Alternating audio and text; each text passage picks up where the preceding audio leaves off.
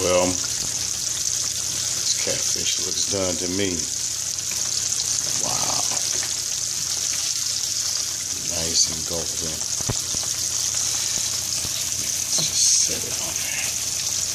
I know they say nowadays you're not supposed to set it on paper towel. You're supposed to put it on a rack.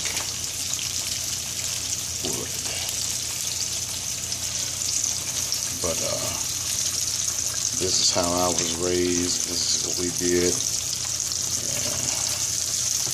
To me, this is just as fine. Putting it on some rack, I don't need all of that. Man, this catfish is good. Farm raised Mississippi catfish. Oh, oh yeah, it's nice and done. It's nice and done. Oh, it's ready. Mm-hmm. This is good. Can't hardly wait to to tie into this. Look at that. Look at that golden catfish. Fried to perfection.